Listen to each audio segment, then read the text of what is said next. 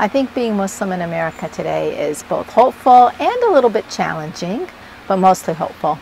My family has been in America for 125 years. My father is an army man, fought in Korea, and so these ideas of blending both nationalism and love of the country and my faith, those have always been special things for me. So I'm comfortable in my own skin, but I'm also aware that others may not be as comfortable with me.